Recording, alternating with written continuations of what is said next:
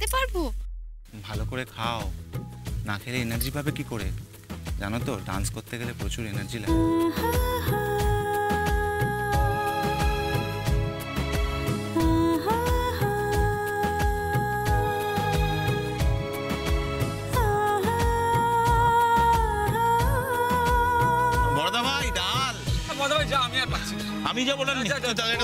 যাচ্ছি, যাব না আমি আসছি।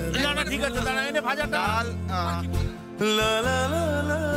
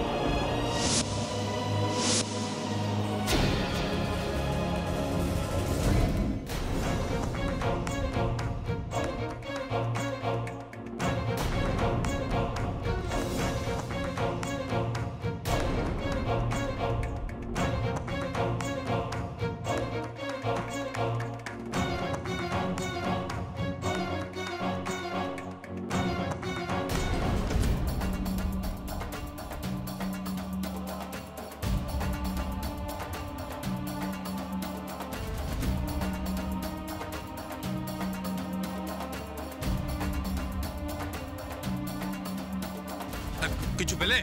না স্যার এখনও পাইনি।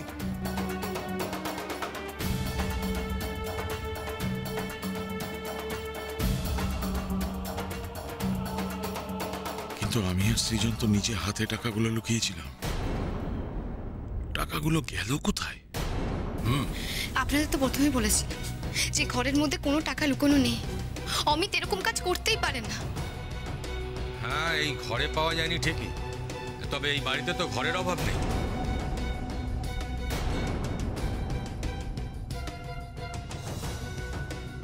এমনও তো হতে পারে যে আপনারা টাকাগুলো অন্য কোথাও সরিয়ে রেখেছেন। আমাদের এখন অন্য ঘরগুলো সার্চ করে দেখতে হবে।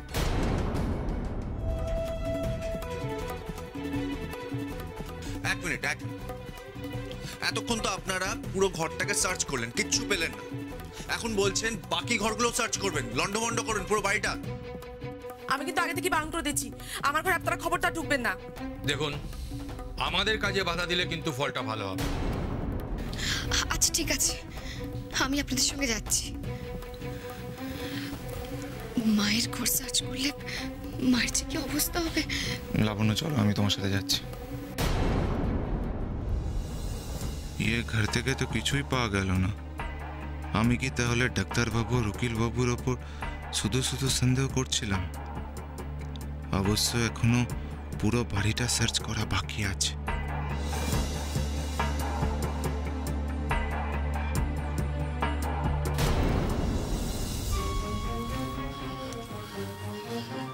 কেসটা কি হলো বলতো?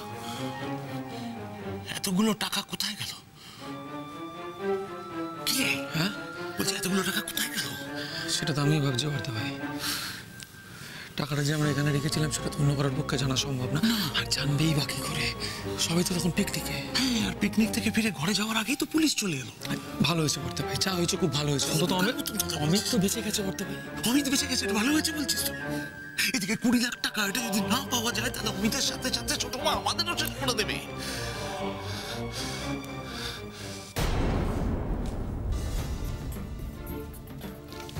সরি মিস্টার রায় আপনাদের বাড়ি সার্চ করে তেমন কিছু পাওয়া যায়নি। We are extremely sorry sir আমাদের ইনফরমেশনটা তাহলে ভুলই ছিল। এরপর থেকে আইপিএস অফিসার অমিত রায়ের বাড়িতে রেড করার আগে একটু ভেবে চিন্তে আসবেন হুম? অবশ্য আপনারা আপনাদের ডিউটি করছেন রাইট দেখুন আমরা আপনাদের খুব অসুবিধায় ফেললাম। আমরা দুঃখিত। এই চলো। চলুন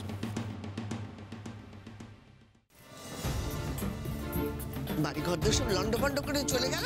যাবার সময় সরি সরি বলে যেন সাতক্ষণ মা।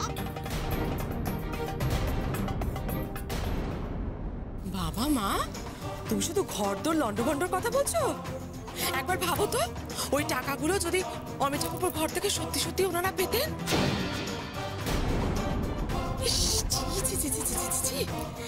তোমাদের মান সম্মান সমস্ত কিছু করে ধুলোর মিশেছে তো এই। থামতে পেয়েছ? না না সম্ভাবনা ছিল না তা তো নয়। ফাঁকা বাড়ি পেয়ে কেউ পাঁচিল টপকে টাকাগুলো রেখেছে। কি? কি আজে বাজে কথা বলছিস তুই সৃজন?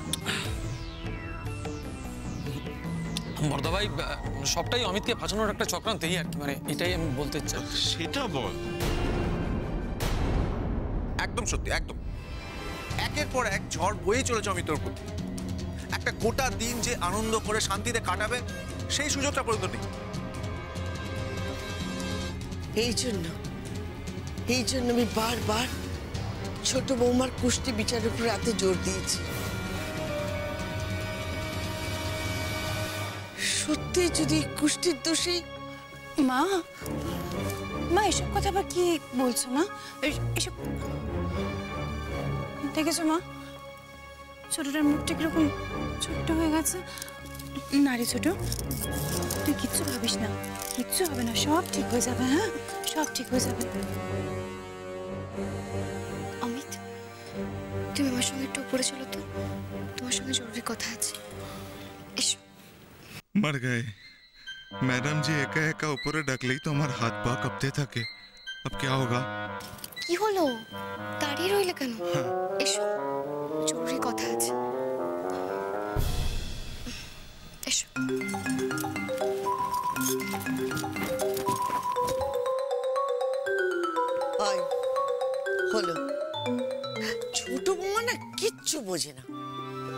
এখন আবার এইসব নিয়ে ছেলেটাকে বিরক্ত করার কোনো মানে হয়?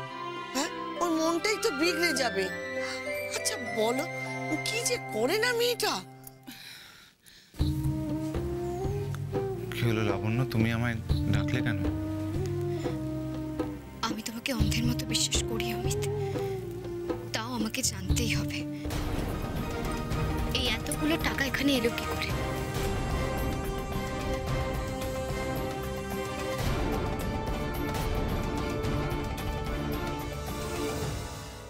তার মানে লাবণ্য যা হয়েছে আজ হয়েছে পিকনিকের জন্য গোটা বাড়ি খালি ছিল সেই সুযোগে হয়েছে